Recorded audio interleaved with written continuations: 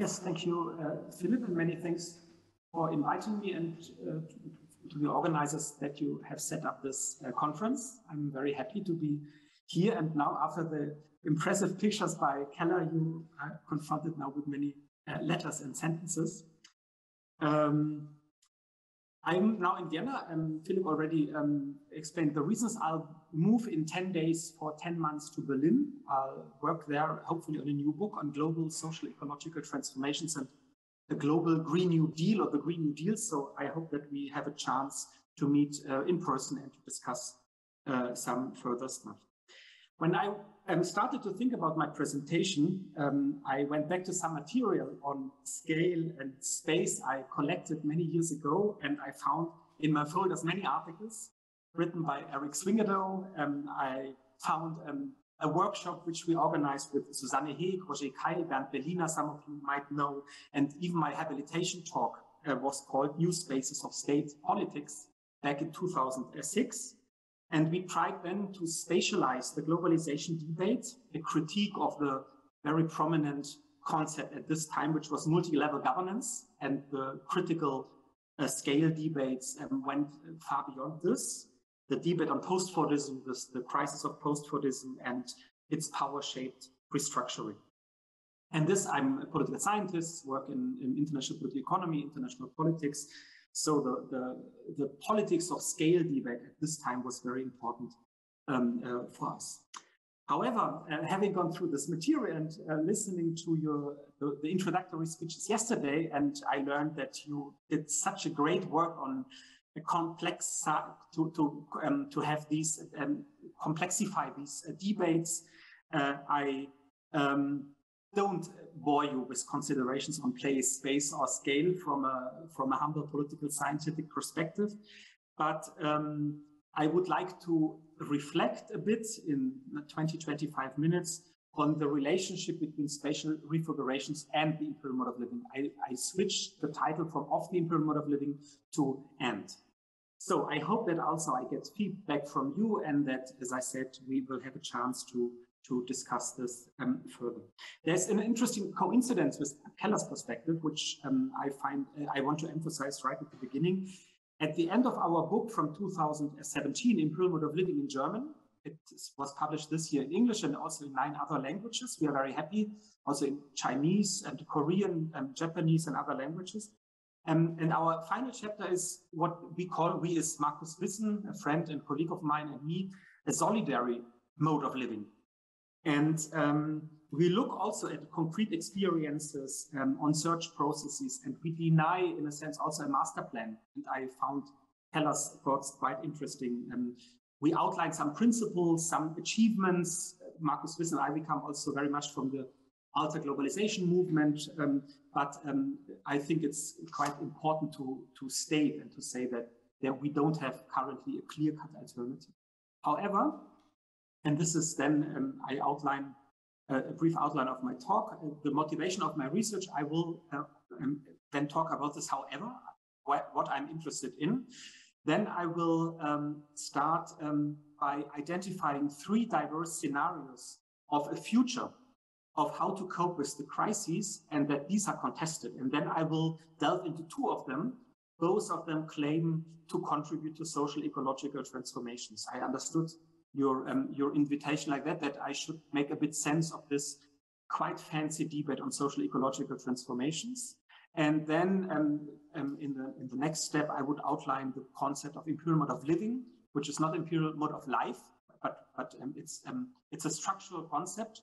I will outline it briefly, and then after the debate um, yesterday with Walter Mignolo and other and others, I would like to ask and insist as an hypothesis that we should um, look particularly at one scale, which is still the nation state. And that the nation state, for theoretical reasons, but also what we can observe empirically, plays still a major role. And then at the end, they have some open questions. So my motivation is that uh, the question I am um, dealing with since many years, um, why, despite the high politicization of the ecological crisis, it's so difficult to reach profound changes. And that the main dynamics we can observe is what I call with others a dynamics towards a green capitalism in the global north with enormous costs um, in the global south, enormous costs because it does not stop the destruction of nature, but also costs within the global north. And then I'm also interesting, I won't tackle this here, um, what we call the solidary mode of living, but what are the contradictions, the contestations of this dominant dynamics? And I took from your from your um, research center um, some questions, points you're interested in, and I come back to this at the end. And I hope that I can contribute a little bit to um, prepare some um, some uh, answers. So you, you want to make the conflictual transformation processes more tangible. You want to enable a better understanding of underlying dynamics, what shape new conflicts and challenges and how conflicts manifest themselves in, among others, decision making flows across globally connected societies. I'm sorry for the mistake. I'm also sorry for the mistakes in my abstract in the, in the program. Um, so um, I go now through what I announced, and at the end, I try to sum up a bit, um, yeah, to, to present some um, answers to these, no, tentative thoughts, answers to these questions. So my first thought. Um, if we condense as a, in a thought experiment, of course, there are many, many um, uh, gray zones uh, uh, among them. Um, different strate strategies, different responses to, to the multiple crises. I come from a neo-Gramscian perspective um, and um, um, which thinks also in projects that there are political, social, economic projects around which uh, dominant actors organize themselves to pursue their interests. We can distinguish probably more, but for this um, for this uh, talk, we can distinguish three. There is an anti-ecological business as usual in more or less authoritarian versions. We saw in Keller's uh, um, uh, presentation the famous hairs of uh, one of the protagonists of this anti-ecological business as usual project or, um, or scenarios. I won't deal with it, but then I want to outline two different projects that claim to um, contribute to social ecological transformations and to deal with the deepening multiple crises, particularly the, the, the climate crisis. The first social ecological transformation is what we can call, um, um, Nancy Fraser, progressive neoliberalism in a mode of ecological modernization without questioning the capitalist social forms. And we can call it an emerging green capitalism in the global north with the costs I already mentioned. And a second form of social ecological transformation is really to deal with the capitalist and post-colonial root causes of crisis, what we might call a solidary uh, mode of production and living. And this distinction, I would say, is mirrored in a very hot debate which started uh, about 10 years ago uh, um, at the end of the of the financial and economic crisis around 2008 2009 where obviously the debate on sustainable development sustainability proved to be not radical enough proved to be to to go not beyond the state of the art despite the negotiations of the sustainable development goals so a, a, debate started um, on transformation and the very semantics of transformation of course is more radical than change or development, and the transformation is also the semantical, semantic um, um, reference to Karl Polanyi's great transformation. So um, the, the, there is a fundamental change needed. I went in a literature review um, um, during some uh, years uh, through the literature and detected some common ground. And I would say that this idea of a fundamental change, which, go, which goes beyond incremental change, is um, at the core of the transformation debate. The focus is mainly on the energy basis away from fossil fuels. We are quite familiar with this, that the resource bases in general also should uh, used in different ways. It should um, that we use less and in a more efficient way. The, the claim for the greening of markets, green jobs, green investments, and green uh, green growth. And in the mainstream of the literature, I come back to this distinction in a moment, there is a lot of trust in the change of values already towards sustainability. And against the neoliberal dogma at this time, it's politics stupid, phrase in a famous um, um, uh, report for the German government, that the state and the global system should regulate. So in the debate, and I think this was really new, there, there was a far-reaching diagnosis. Remember that in 2007, the IPCC, the Intergovernmental Panel on Climate Change, published its fourth report with really alarming uh, uh, results how the um, the climate crisis um, uh, uh developed. However, despite this far-reaching diagnosis and aims, the concrete steps in the largest, larger part of the transformation debate were not adequately radical. Was, there was a lot of trust, as I said, in institutions, in values, and the focus was much more on the change of resources, of the energy base, of fossil fuels, and not so much of the capitalist social forms of the capitalist growth imperative and others. And there was in much literature what I called a political strategic overload that um, because um, the debate should um, um should um, um, influence uh, politicians should influence the public debate. There was a kind of a claim we need this, and the and the analysis was kind of a bit cut back.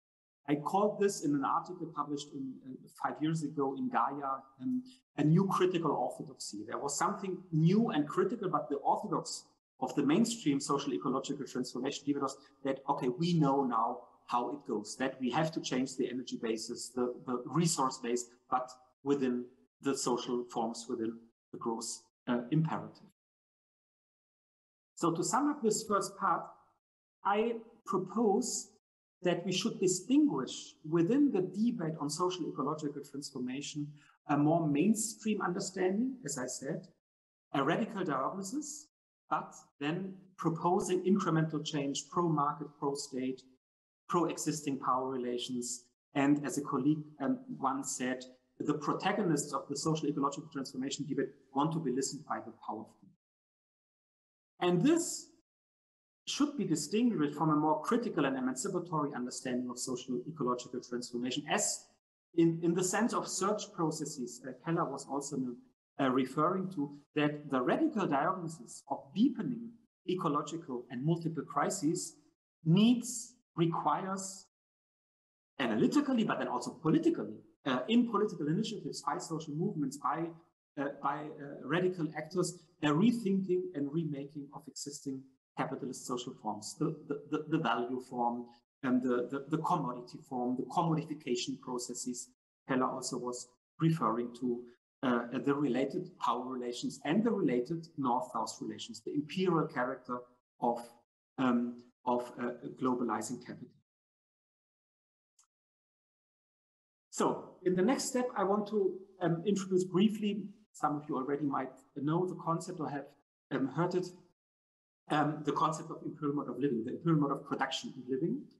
And um, what um, Markus Wissen and me motivated to develop the, um, the concept, among other things, is why the liberal, the, the first version of social ecological transformation of ecological modernization is still predominant. Why for for for the, the, the dominant actors, it's kind of the, the obvious um, path to take to change the resource basis, but not the the social capitalist forms, and also why it's so difficult to achieve a more radical, emancipatory, and international, international perspective, which I, I want to insist against uh, um, uh, after the debates yesterday, it's not a homogeneous understanding of internationalism, uh, emancipation, and radical politics. It has to be. I work very much on Latin America. I spent three years of my life in Latin America, and I discussed there a, a lot. I'm very aware of the differences.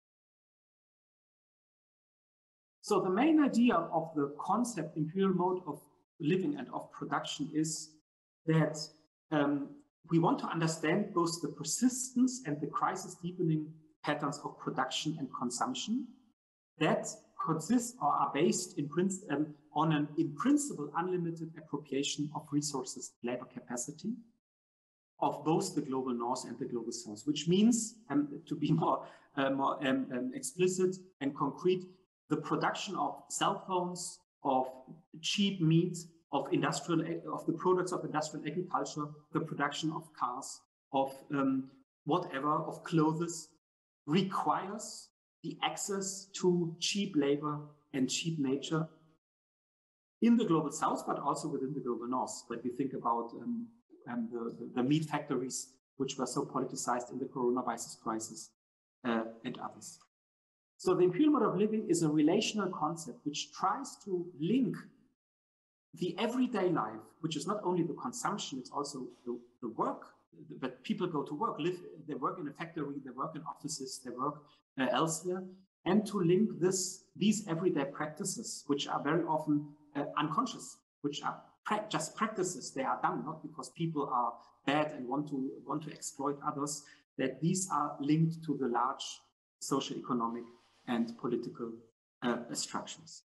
And we argue against the neoliberal, neoclassic mantra when the growth rates are high enough, everybody, everybody at the end will be better off. No, the, the, the imperial mode of living needs the other side of the coin, needs South China, needs the soybean uh, production in Brazil and India, needs um, open pit mining uh, all over the world, um, etc., etc.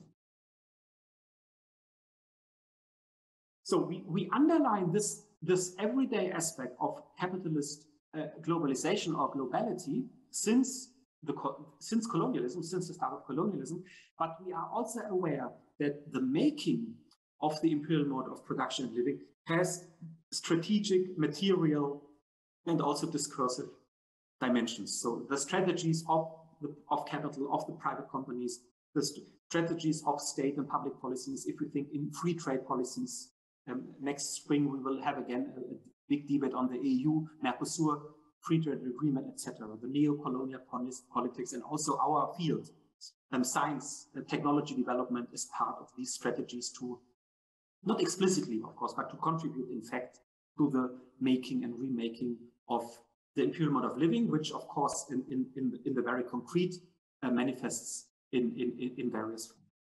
It has the material dimensions, such as resources, built infrastructures, we just heard, heard this, emissions, we, it, it, has to do with discourses of progress, good living, um, the growth imperative, uh, and others. But it has also to do, um, and I think this is our contribution with these everyday practices, the habitualized, internalized um, forms of making, of having a good life, of making good, the aspirations, as I said yesterday in the discussions, and the discussion, and the imperial mode of living in its very concrete forms, how do we live? How do we move? How do we communicate? What do we eat? How do we uh, um, um, live, uh, have houses, etc., etc. These ways are always contested, as um, um Eric already um, underlined yesterday. So the domination-shaped routinizing of improvement of living goes hand in hand with temporal, spatial, uh, technical uh, fixes all over the world. we argue that the imperial mode of living is within the, the process of capitalist globalization, of digitalization, of um, the enormous um, growth of, um, of the outreach of our activities when, when we consume, when we move, etc., uh, etc., et that this imperial mode of living is deepened in the global north and enhanced mainly among the middle classes in the global south. We have, um, there is a Spanish version published in Buenos Aires in Argentina, friends of mine, Tinta Limon, own publisher. And we have um, in, in uh, as a foreword, the English version was published with Verso, and there we have a special foreword also in times of Corona crisis. But the foreword for the Spanish version is to reflect with um, with colleagues, friends, comrades from Argentina and Brazil how this concept can be translated uh, into very concrete contexts in the global uh, south, in this case in Latin America, and there are some interesting elements how, how these um, uh, assimilation processes are kind of um, integrated. Again, it has to do with capital strategies, with state, state strategies, but it also has to do with a, with a, um, an everyday orientation. Uh, what is a good living and, and others. So I come to the end and want, um, listening to the debates yesterday and um, Martina's and others introduction, the first results of your, of your um, research group, um, uh, you detected, and there are there is an enormous variety of spatial figures. What I want to do, maybe here as a humble uh, political scientist, uh, um, coming from critical state theory, Nikos Poulantzas, uh, and others, I would like to argue for this moment that despite the variety of spatial figures and of scales, we should look particularly, not exclusively, of course. This I hope became clear with my with my first thoughts. Um, particularly at the nation state, because the nation state remains the crucial scale where capital, capital organizes its reproduction politically through laws, coercion, free trade policies. Uh, we saw in the, next, in the last uh, 20 um, months um, um, in crisis situations and others. Of course, we have um, what um, Stephen Gill um, 20 years or even more uh, ago called a global constitutionalism. There is the WTO, there are the processes to, to um, have a global capitalist constitutions to secure property rights, intellectual property rights, and others.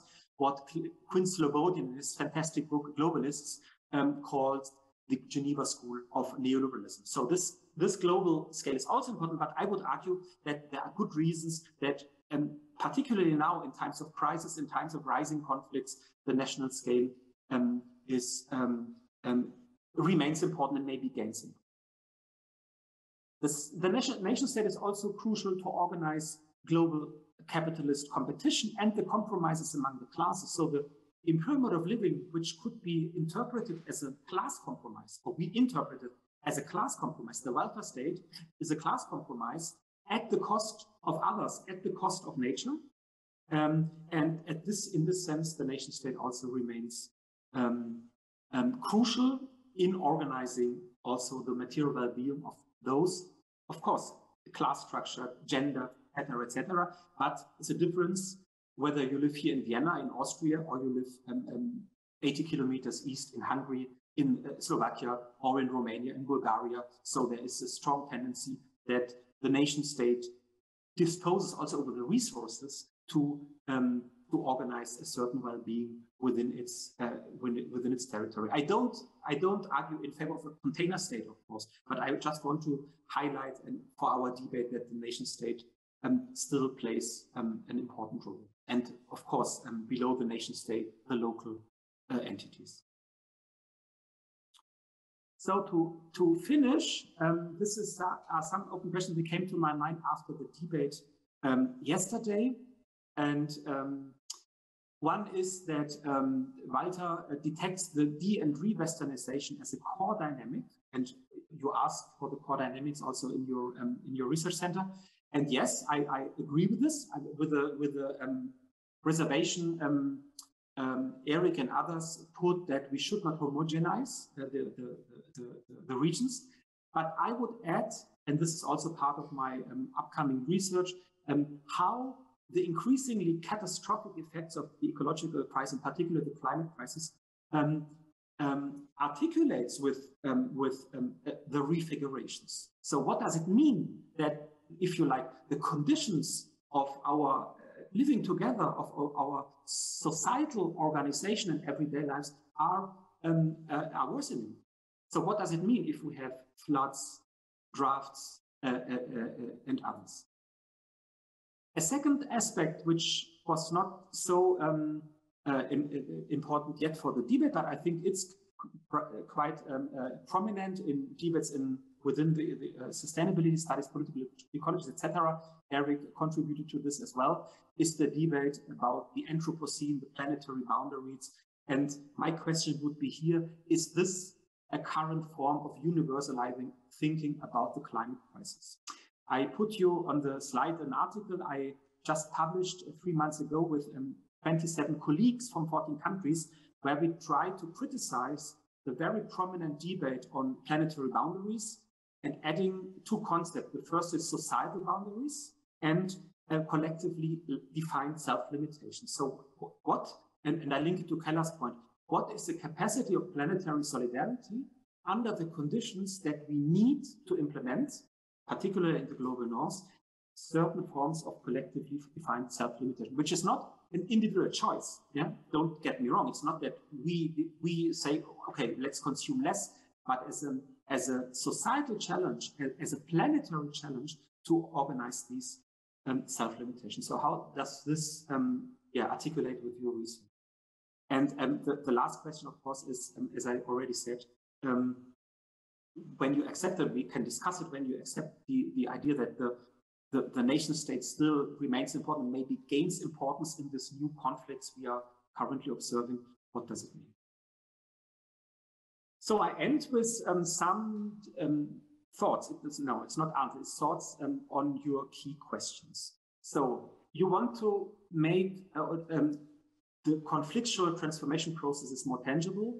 Then I think um, my work or Markus and my work, we can contribute to um, to look at the struggles, the manifold struggles to maintain the imperial mode of living, despite the high politicization of the ecological crisis. My interpretation of the German elections um, a month ago uh, was that uh, the, the, Green Party and the leftist party, despite all the problems they had, they also did not win so much because um, the crisis, the, the, the recent crisis showed to many people that the challenges to deal with the crisis are enormous, are even not understood. And so we remain on the safe side of the of the of the world uh, within the improvement of living and not looking so much on the on the challenges.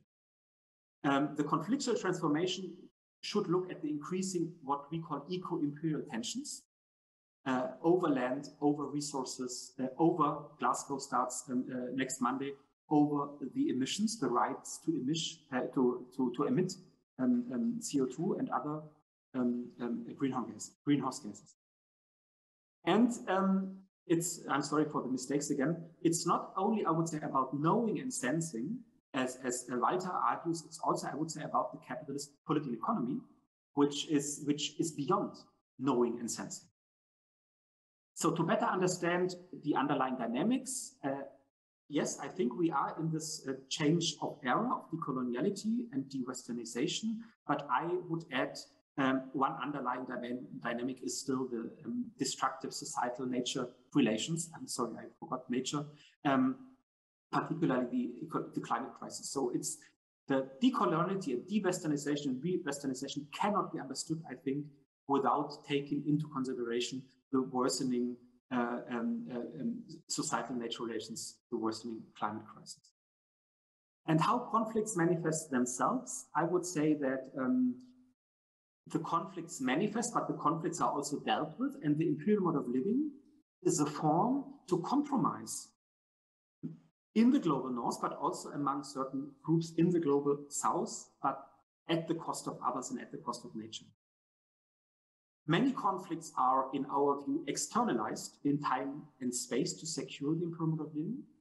So the, the, the manifest conflict is the conflict about uh, large pit mining in uh, Peru or in uh, Ecuador, uh, but the, the, the driver for this conflict is the demand from the automotive um, industry in, uh, in Europe.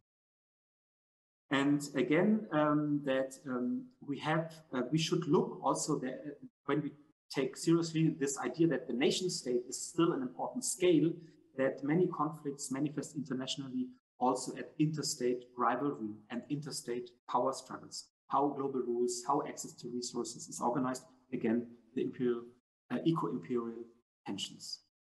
So far, many thanks for your attention.